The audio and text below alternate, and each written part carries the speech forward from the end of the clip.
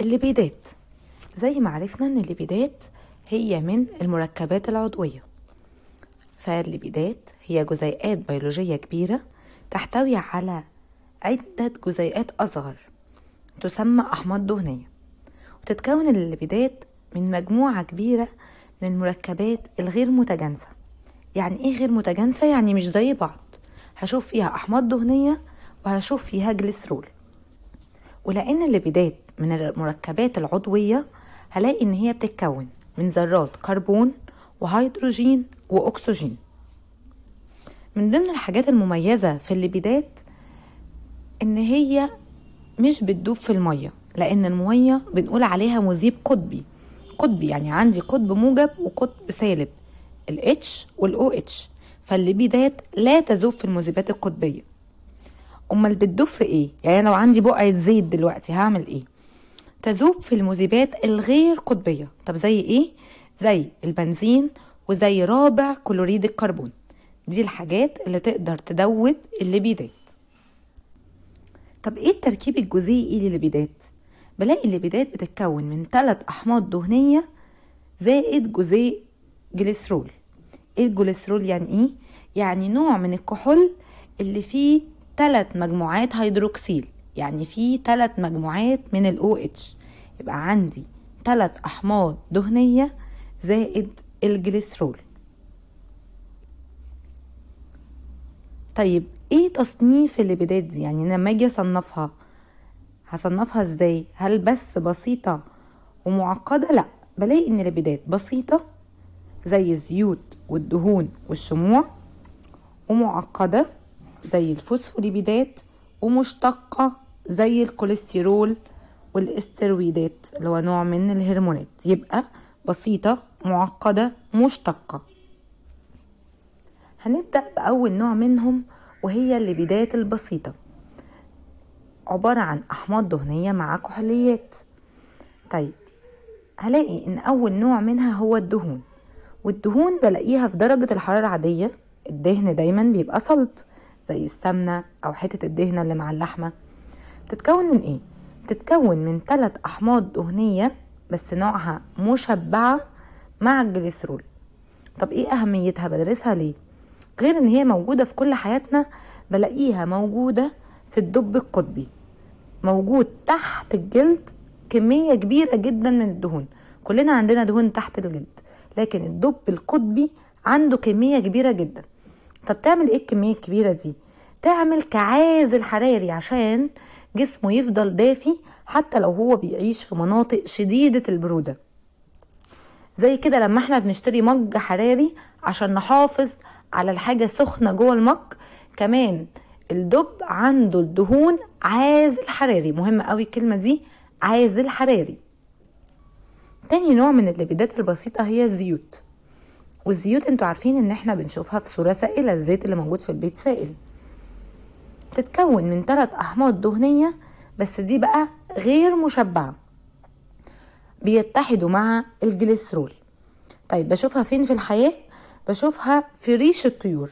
انت لو مسكت ريشة أي طير ألاقي إن هي كده بتلمع شوية من فوق. ليه؟ لأن عليها طبقة من الزيت الطبقة دي عشان المية ما تنفس يعني ما تعديش لجوه الريش عشان ما تتقلش وتقدر تتحرك بسهولة في المية. يبقى حتى لا ينفذ إليها الماء ويعوق حركتها.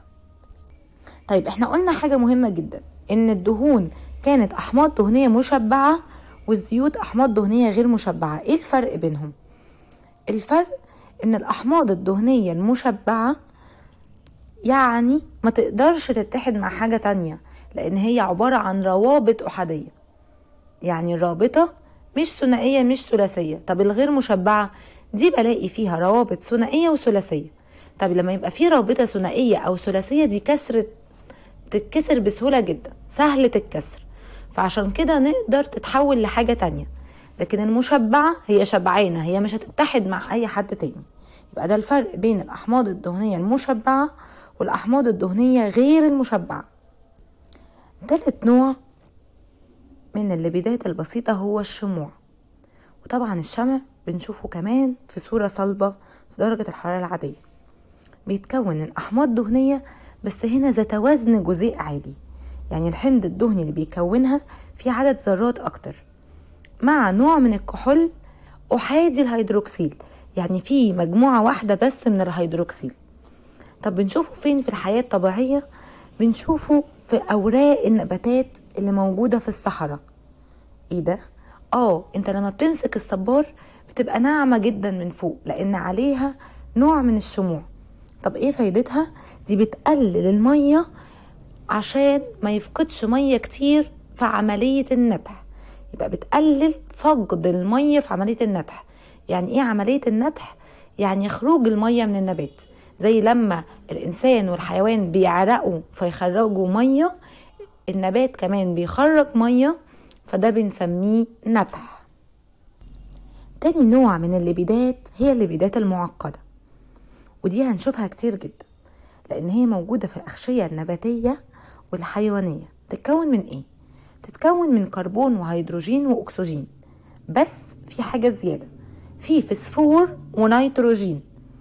إيه ده؟ طب إزاي الحاجة الزيادة دي دخلت؟ بدل ما كان عندي ثلاث أحماض دهنية استبدلنا الحمض الدهني الثالث بمجموعتين واحدة فوسفات فدي فيها الفوسفور ومجموعة اسمها الكولين فدي فيها النيتروجين. فيبقى أنا عندي اتنين حمض دهني مع مجموعة فوسفات ومجموعة كولين بدل الحمض الدهني الثالث وجزيء الجليسرول. فكده عندي كربون هيدروجين أكسجين مع فسفور ونيتروجين وركز في الحتة دي كويس قوي تالت نوع هو الليبيدات المشتقة. من اسمها كده مشتقة يعني بتشتق من الليبيدات البسيطة والمعقدة. بتشتق إزاي؟ عن طريق التحلل المائي. يعني الليبيدات البسيطة والمعقدة لما تتحلل في المية بتدينا الليبيدات المشتقة. زي إيه؟ زي الكوليسترول وزي الهرمون اللي اسمه الاسترويدات. يبقى أنا عندي الكوليسترول والاسترويدات هي لبيدات مشتقة. وأنا لك الصورة دي عشان تعرف إن الحاجات المقلية دي فيها كوليسترول كتير جدا.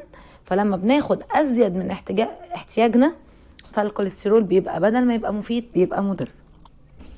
طيب إيه أهمية الليبيدات؟ أول حاجة الحصول على الطاقة. فالليبيدات بتعتبر مصدر مهم للحصول على الطاقة.